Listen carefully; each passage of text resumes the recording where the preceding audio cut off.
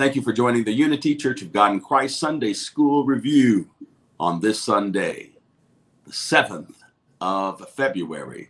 We thank God for this day, this new day that He has granted to us individually, collectively, to experience the day, to rejoice, and to be glad in it.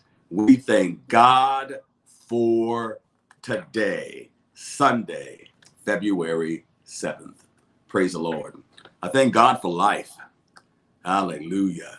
I give honor to Pastor Anthony Rogers and First Lady Charlene Rogers, the leaders of the Unity Church of God in Christ.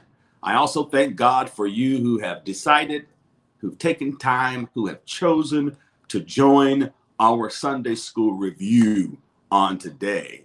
You have made the right choice. You are at the right place to receive a blessing from the Lord. I thank God for our Sunday school superintendent, Deacon Joe Daniels, and his companion, Sister Annie Daniels, and how he collaboratively and collectively works with our Sunday school teachers, Deacon Robert Delgado, and missionary Rachel Drake to extend the word of God to every Sunday school student Praise the Lord. And I thank God for the opportunity on this day granted to me the privilege and the honor to share today's lesson review with you. The topic of our discussion today, the topic of our review today, is called To Evangelize. Again, called To Evangelize. This being um, our entire focus today, our Bible basis for this discussion is John, the fourth chapter, verses 25 through 42. Again, John, the fourth chapter, verses 25 through 42. Our Bible truth for today. After meeting Jesus, the Samaritan woman becomes an evangelist. Again, after meeting Jesus, the Samaritan woman becomes an evangelist. Our memory verse that coincides with our topic of discussion called to evangelize. And many of the Samaritans of that city believed on him for the saying of the woman, which testified, He told me all that I ever did. Praise God. Our memory verse is found in John 4th chapter, 39th verse. The King James Version is what we have shared today. Our lesson aim. By the end of this lesson, we will analyze the barriers Jesus crossed in speaking with the Samaritan woman. Since the wonder the Samaritan woman felt in her meeting with Jesus and share with others the transforming power of God that works in their lives. Our words today that will help us achieve our lesson aim are words that we should focus, are words that we should clarify meaning so they can help us successfully meet our lesson aim, analyze, sense, and share. The word analyze is to examine them methodically and in detail. The constitution or structure of something, especially from an informational perspective. This is good to analyze and to understand for informational purposes so that you can explain and interpret later. The word analyze is not new to us. The explanation or the definition of the word is not new either. We all know the meaning of the word analyze.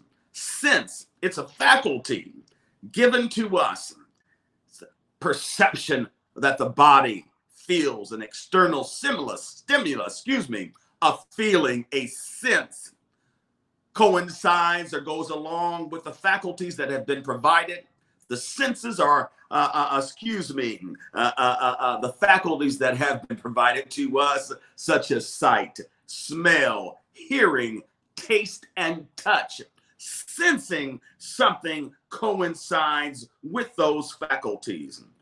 Hallelujah. You get the sense or feeling that something is about to happen or something is the case.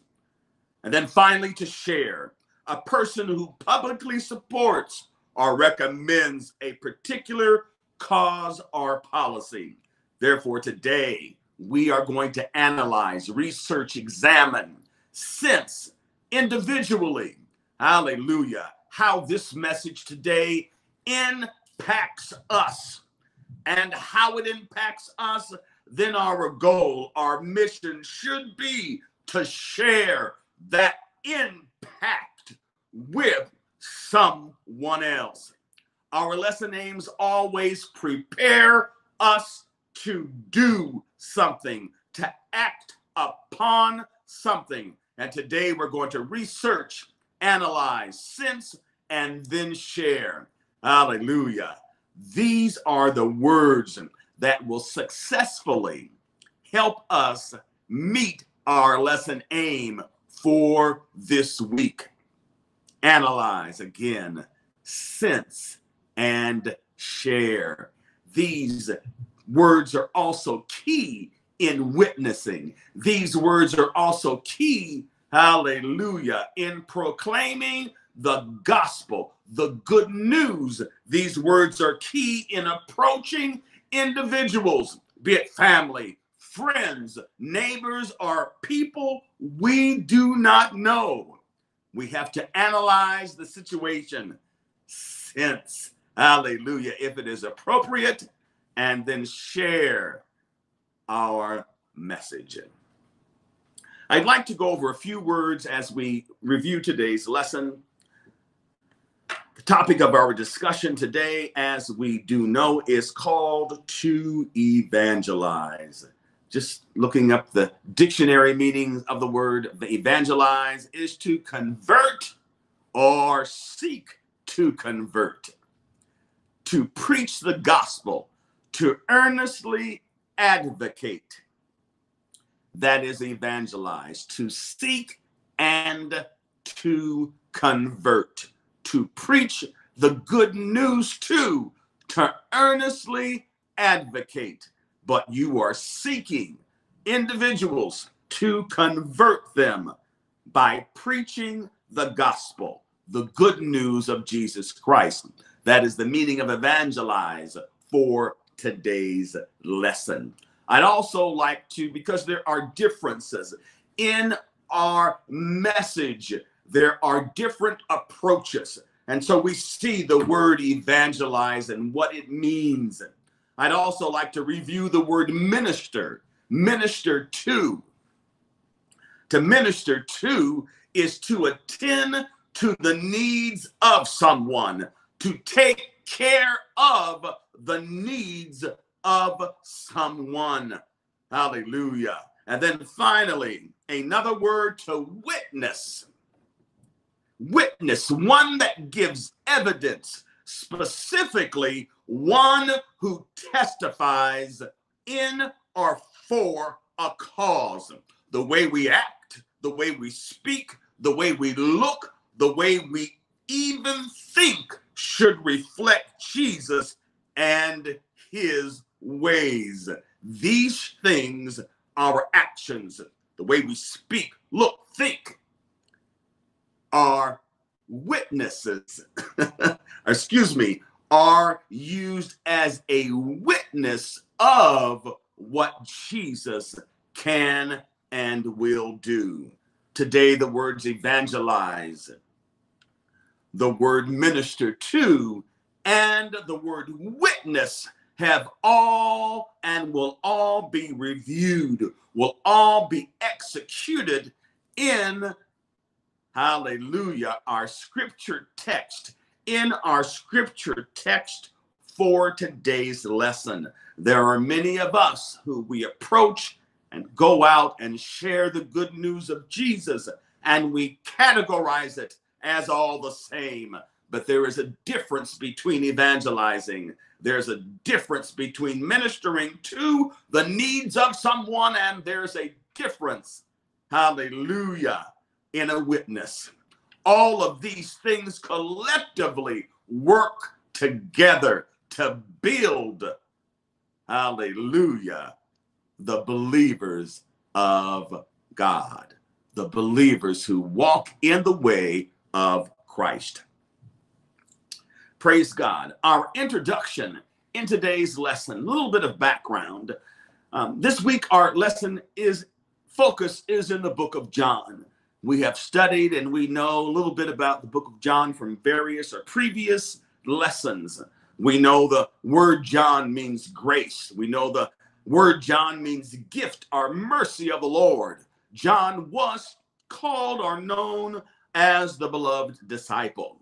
John's book the Gospel of John is a divine record of the pre existence, the life, the ministry, the death, the resurrection of Jesus, and capturing Jesus as the Son of God, showing Jesus his deity and the fact that he is part of, hallelujah, God's family, the royal priesthood. He is again the Son of God. John was skillful in his writings to demonstrate Jesus in these various manners. He presented Jesus to us, he authenticated Jesus as the Savior of the world. Hallelujah. And that by believing in Jesus, one might have eternal life. This was John's emphasis in his focus in writing his book. The third chapter, specifically, our lesson today, let me take a step back, takes place in the fourth chapter, and we will get there momentarily. But I'd like to highlight briefly on the third chapter to bring us up to the point of our discussion today. In the third chapter, Jesus has an encounter with an individual that has a name. The scripture references that his name is Nicodemus. The scripture references that he's a Pharisee. It also outlines the fact that he was a member of the Jewish ruling council. Scripture notes that G- Nicodemus came to Jesus by night in discretion, discretion for himself. And Jesus explained to him in that encounter that you must be born again. Hallelujah. This kind of puzzled Nicodemus, but Jesus explained to him and told him, For God so loved the world in that 16th verse of that third chapter that he gave his only begotten Son, that whosoever believeth in him should not perish, but have everlasting life. Jesus explained, hallelujah, what was required to Nicodemus in a way that he had not explained to anyone else. Hallelujah. Again, Jesus in the third chapter has an encounter with a man. This man has a name. This man is on a council. This man is a Pharisee. He is esteemed in his status in society. And this man approaches Jesus by night, but Jesus discusses, talks to him, and reveals something that he has not shared with anyone else. Hallelujah. Our setting today takes place. Jesus is en route back to Galilee but it was necessary for him to go through Samaria.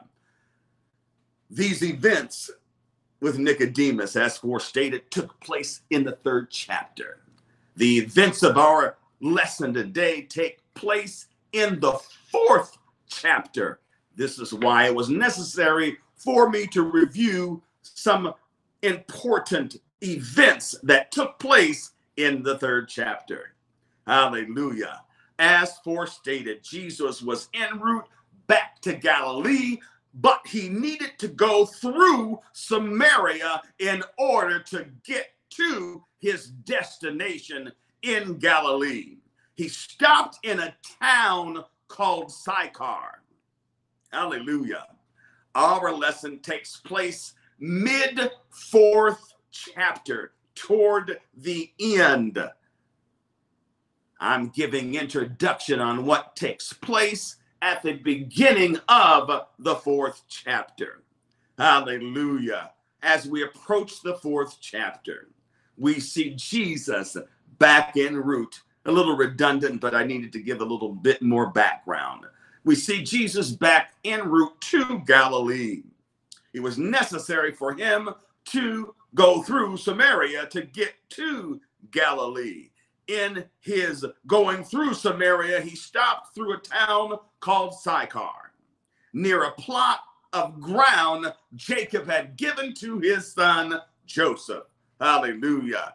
Jacob's well was there at this location. Jesus arrived at the heat of the day around 12 noon. The heat of the day, as the saying goes. and he sat down by the well. At that same time, a Samaritan woman also came at the well to draw water. It is noted in our commentary, it is noted in a lot of background commentaries about this scripture, about the day that most women drew water from the well in the cool hours of the morning.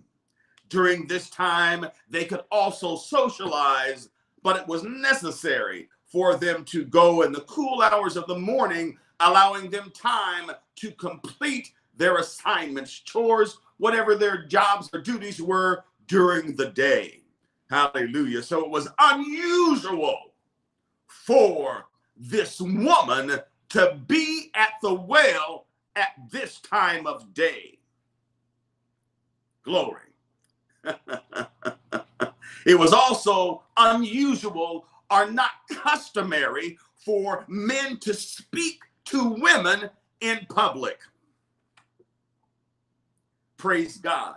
I thank God for using unusual situations and settings to personally speak to us to personally speak a word of life as he does to this woman on today. Hallelujah. People of God, have you ever been in an uncomfortable or un hallelujah customary situation where you receive a message of encouragement, a message of hope from the Lord? If so, then you can identify with what happens, with what takes place in the conversation, in the encounter with Jesus and this woman. Glory to God. Jesus asks her to give him a drink, or will you give me a drink?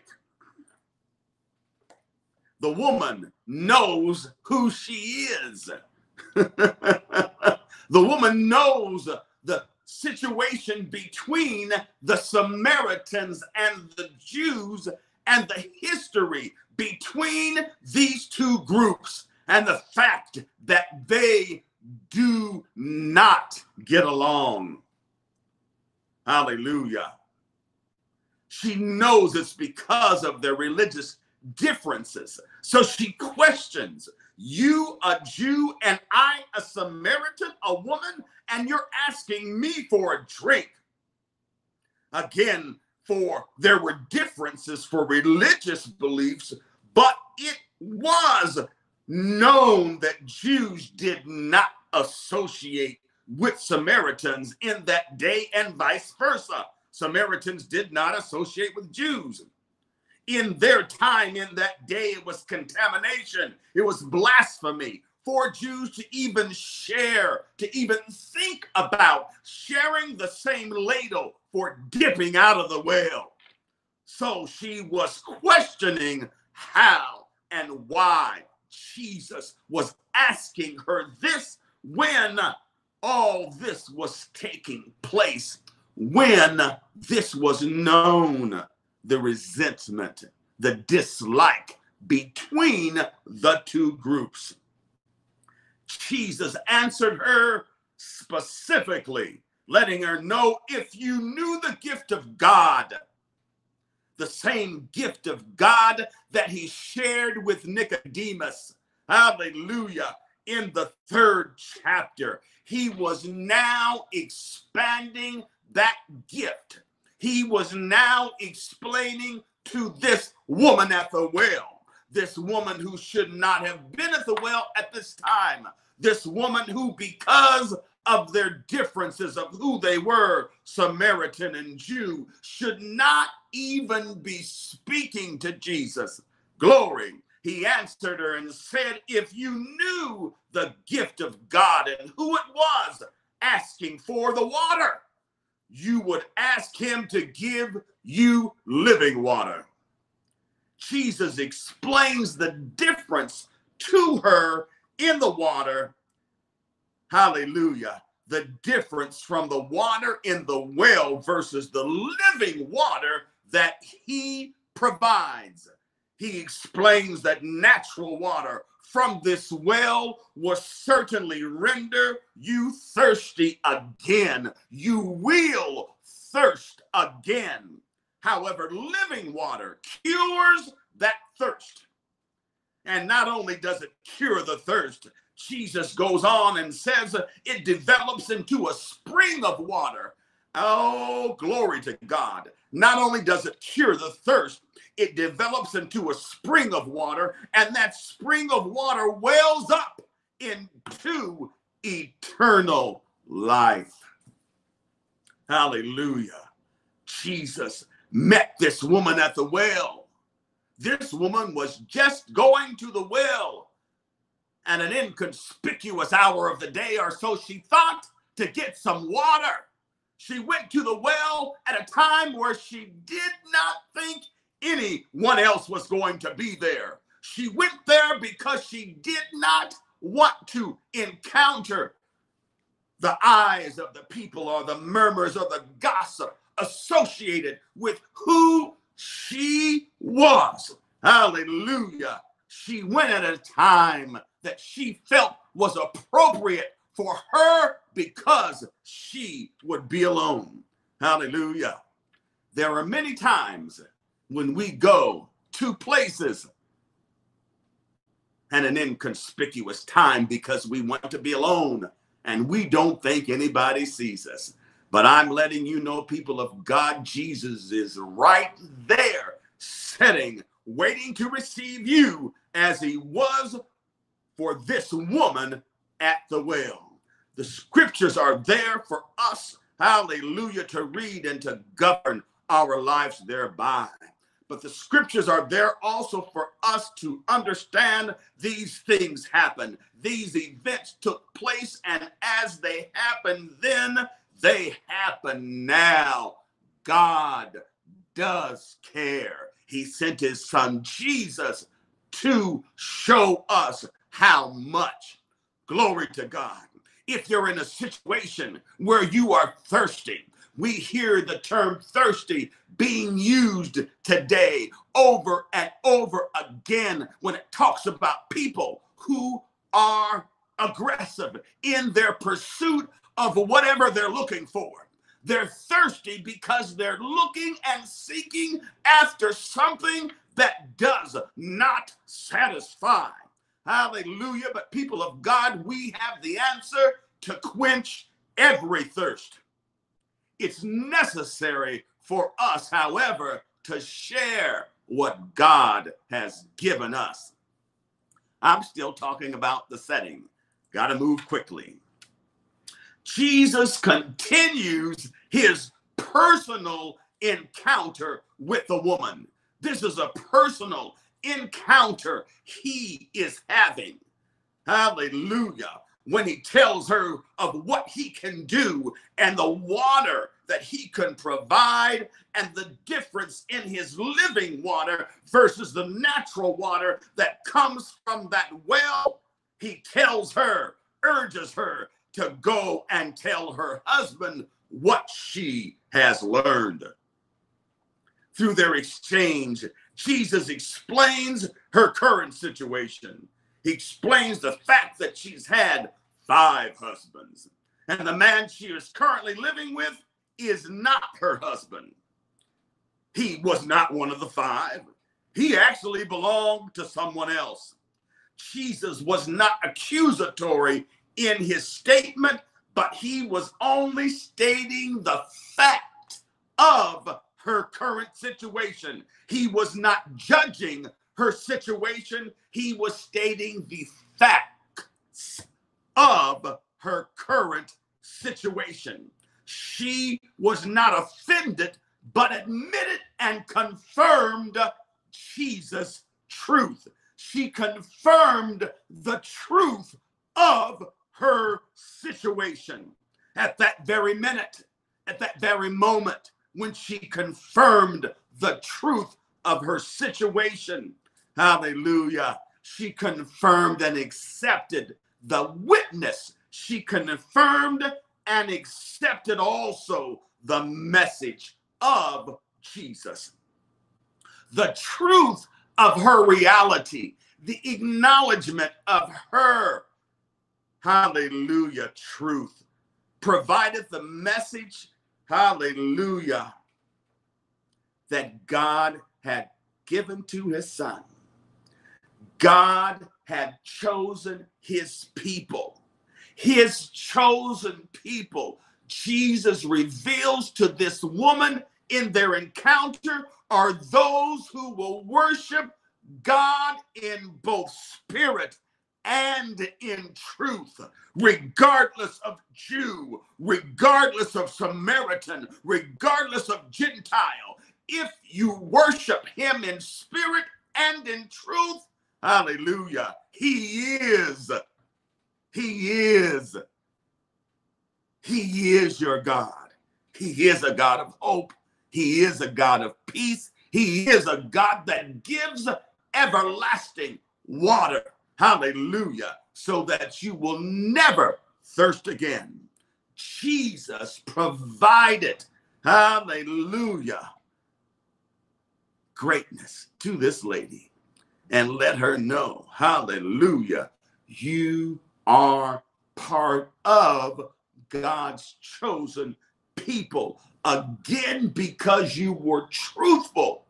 You didn't get offended, but you accepted the truth of your reality and the fact that I can give you living water to eliminate you looking into wells. Hallelujah. To you, eliminate you looking to men, women, and other things as wells to represent, to cure your thirst. Hallelujah. At times we look at other things, hallelujah, to cure our thirst. Jesus is that living water. Will you be truthful with yourself today as the Samaritan woman was? Hallelujah. Praise the Lord. Our lesson today expands the personal discussion of Jesus and the woman at the well it expands this discussion to include you and I. Hallelujah. Jesus is Israel's long awaited Messiah.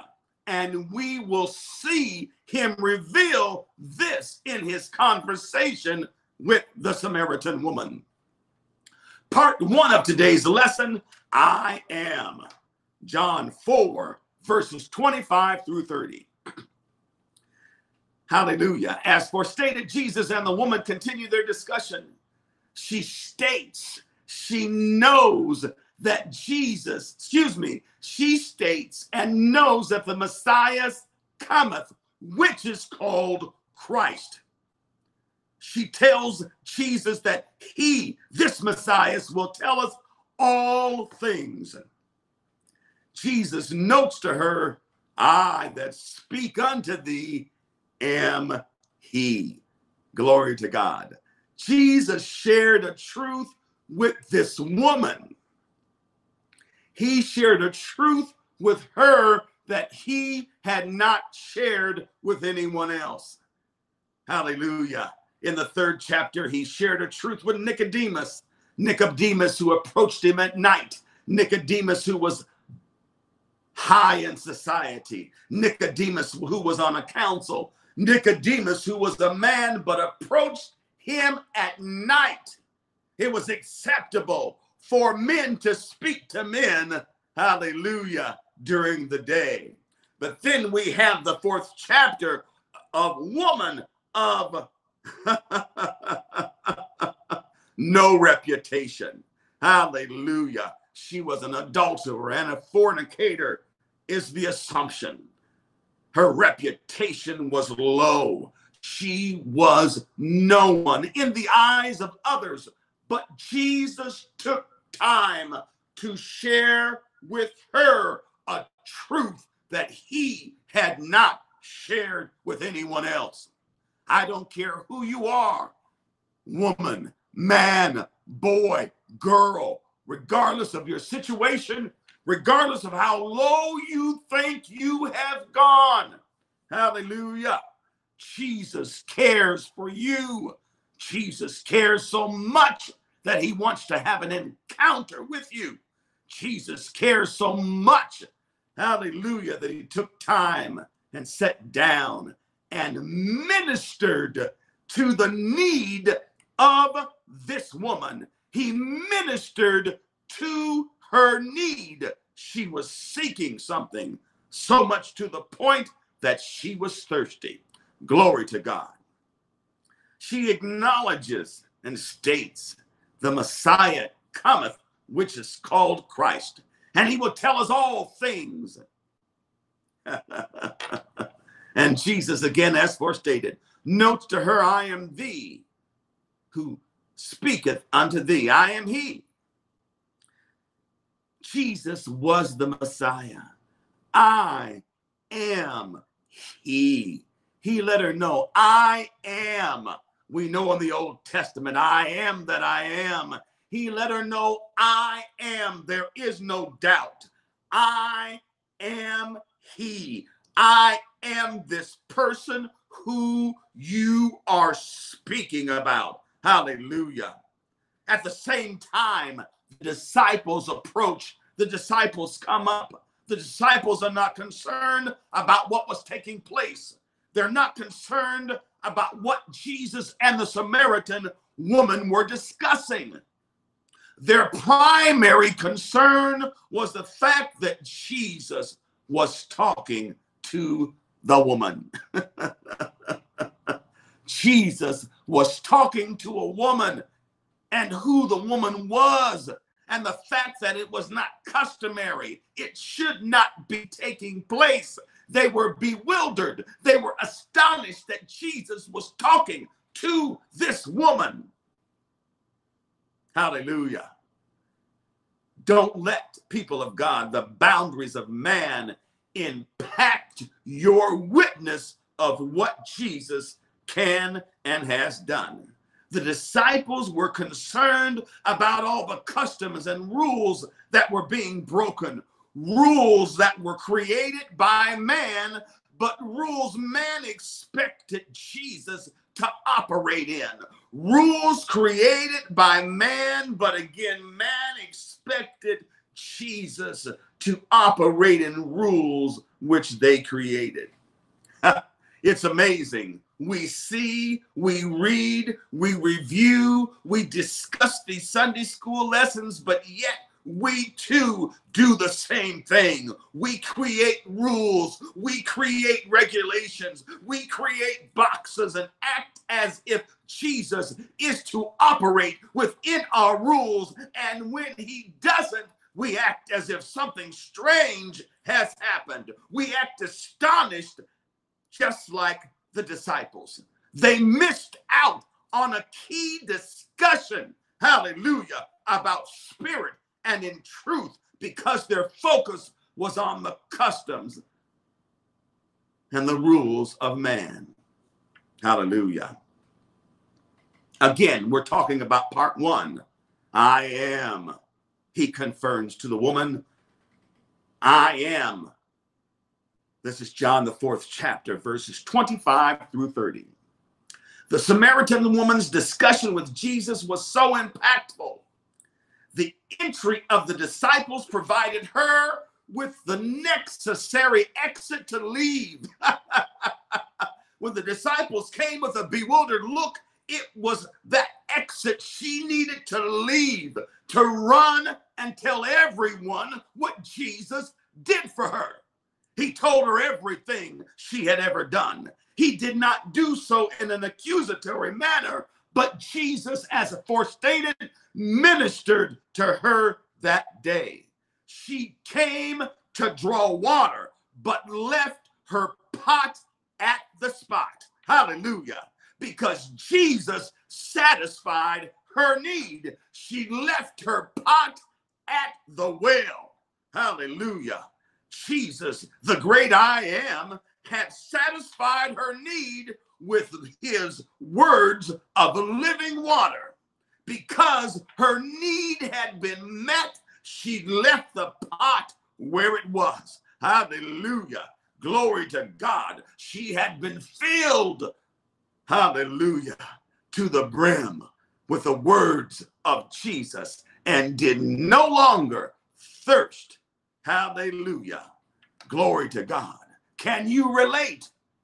Can you identify with what she experienced? Do you thirst? Hallelujah. When you met Jesus, when you accepted Jesus, when you received Jesus, did you react the same? Did you put your pot down at the spot? Did you leave your habits or whatever is bothering you? Your hurt, your harm, your pain. Did you leave it? Hallelujah. Allow Jesus to satisfy and to fill your thirst today. Part two, quickly. I have the words I have. John, fourth chapter, the verses 31 through 38. During the time in which Jesus was conversating with the woman at the well, as for stated, the disciples came back. They entered, but the disciples had been in town purchasing food. When they returned, they were puzzled again because Jesus was talking to this woman, but they dare not ask him why. They loved Jesus and was concerned that he had not eaten. Encouraging Jesus to eat, Jesus responds to the disciples, letting them know he has meat they know not of. Jesus revealed he was the Messiah to the woman, but not to the disciples. Hallelujah, because their mind was on customs and the rules of man. So he knew he had further work, uh, additional discussion that needed to take place between him and the disciples. Personal discussion similar to that that he had with Nicodemus, similar to that that he had with the Samaritan woman. Hallelujah. Sometimes those who are closest miss what God is saying because they expect him to say it in a way that follows within rules and guidelines that we develop. Hallelujah. Let us look as Jesus explains to his disciples. Let us open our eyes because the harvest is ripe, but the laborers are few because our eyes are at times fixated on other things that have nothing to do with the work that God has called us to do. Hallelujah. God is doing a new thing today, and He's using anyone who is willing to worship Him in spirit and in truth, regardless of who you are, regardless of what color you are, regardless if you're male or female. God is using His chosen people who worship Him in spirit and in truth. Hallelujah. The disciples, yet in a state of confusion, are looking around to see if any if there's any evidence of someone bringing Jesus food because he's referenced the fact that he's eating of another meat or another food. hallelujah, Jesus shares intimately with his disciples that the food he is speaking of represents his mission. He is fed by his passion to do the will of his Father, to seek and to save those who are lost. Again, Jesus is fed by his passion to do the will of his Father and to seek and save those who are lost. Hallelujah. Jesus notes not only is he doing the work, but he must finish the work. Jesus, at that time, during this discussion, just as he took time to change the focus of the Samaritan woman from the natural water to the spiritual water, he was also taking time to personally help the disciples transition their thoughts from the natural to the spiritual. Hallelujah. Jesus helped them by noting you have four months from plant to harvest. Jesus wanted them to look out with the same eyes, the same vision, the way he saw. The harvest was plentiful. This is a collaborative effort. He wanted them to know the sower and the reaper must work together. Hallelujah. Sowers and reapers work at different times, but their main goal is the harvest. One planteth, one watereth, but it is God who gives the increase. Jesus was hungry to see people saved. Do we have that same hunger? Jesus was willing to forego the comforts of nourishment to complete the work of him that sent him while it was day. What is your sacrifice? What are you doing to help you, hallelujah, complete the work of him that sent you? Part three, I believe. Hallelujah. Part three, I believe. Part three is captured in John, the fourth chapter, verses 39 through 42. Jesus, as we have read, as we have discussed, his encounter with the Samaritan woman changed her life. Jesus' willingness to forego custom, rules, and expectation saved the life of someone who was in need.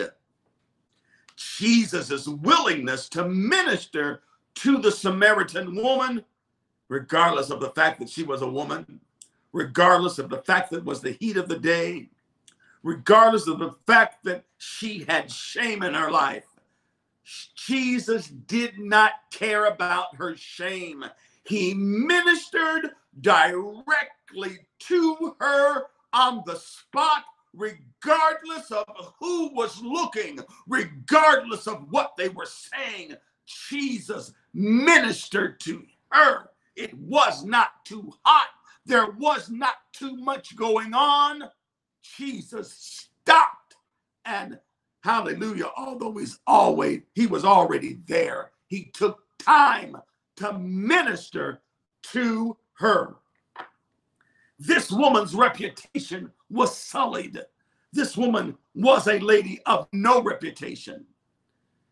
When you have no reputation and you're a person of ill repute, glory to God, you are known as someone that messes with other people's Husbands, no one wants to be around you. You have no reputation. So, who do you think would want to hear this woman's witness of what Jesus had said to her, of what Jesus told her, of what Jesus shared with her? Hallelujah. Glory to God. This woman was ashamed of who she was.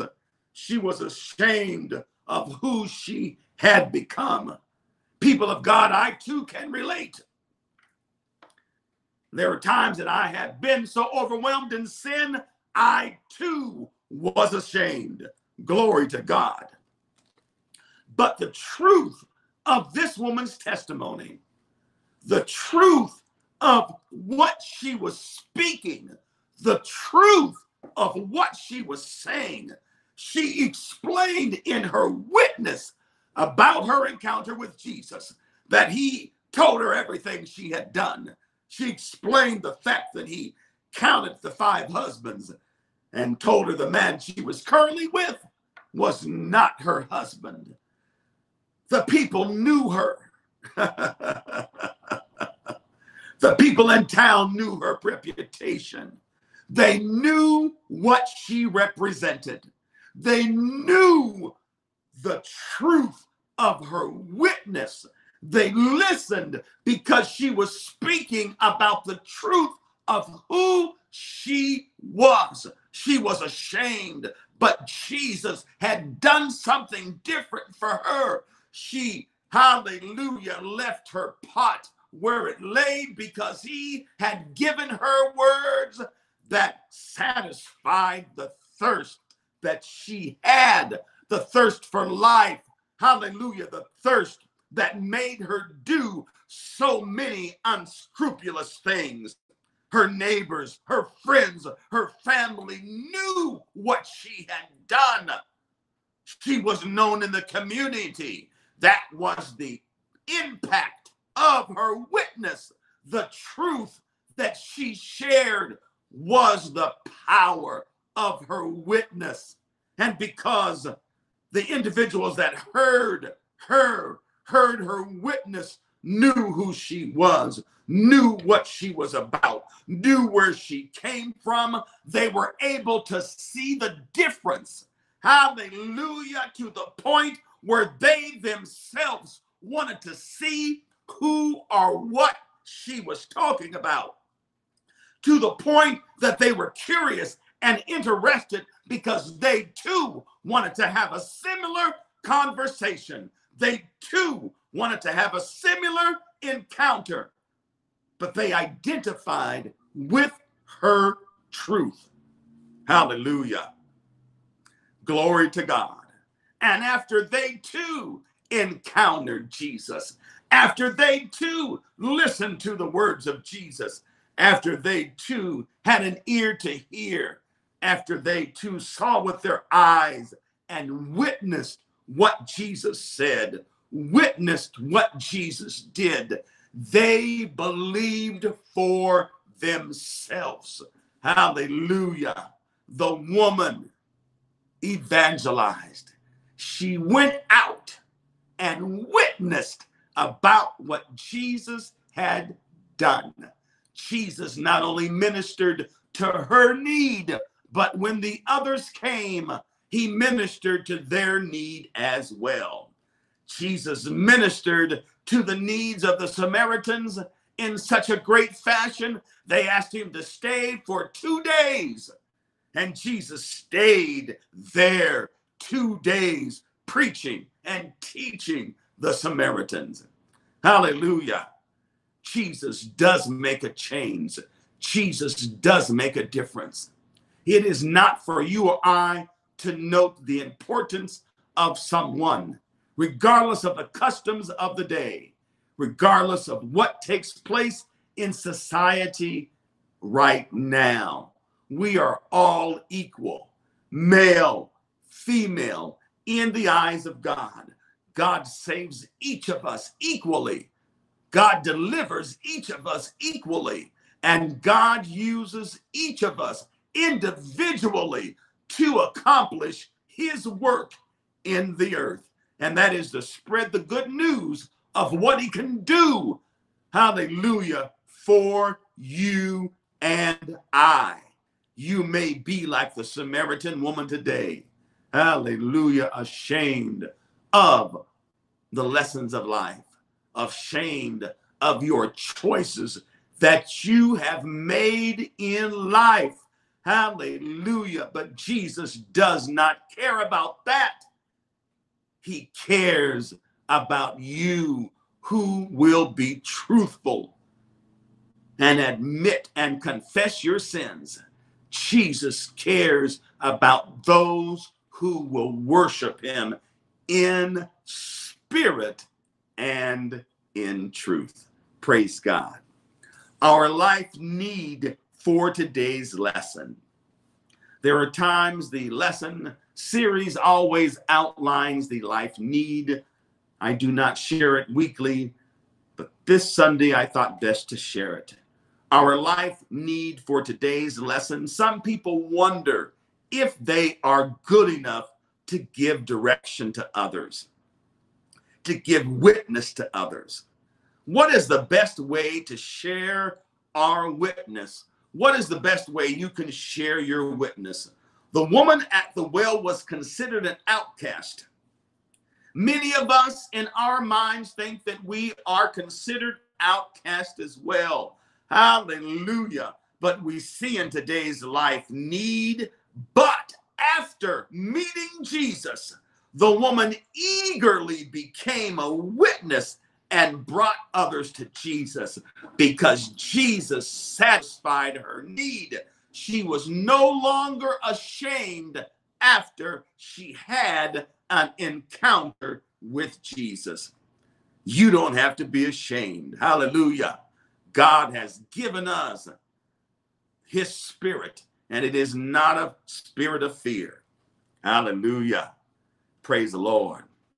Our lesson for next Sunday, for those who do not have a Sunday school book, we want you to certainly be aware of the scriptures that we are using to research and to tune in with us next Sunday at 9:30 a.m. Mary Magdalene, a faithful disciple. Again, our lesson next Sunday will be Sunday, February 14th, lesson 11. And our Bible basis is captured from Luke, the eighth chapter, verses 1 through 3. We're also going to review Mark, the 15th chapter, verse 40, as well as St. John, the 20th chapter, verses 10 through 18. Our prayer for today.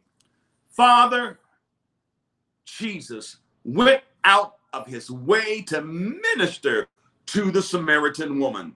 What an example that he came to seek and save the lost. Thank you for finding us, for drawing us to you through the testimony and witness of others. Help us, Holy Spirit, to be powerful participants in sharing the good news of Jesus Christ. In the name of Jesus, we pray. Amen. Please, people of God, remember today to give. Your giving options are displayed at the bottom of our screen. And please remember to tune in promptly at 11 a.m. for a powerful message from our pastor, Pastor Anthony Rogers. Praise God. We thank you for joining. Be blessed.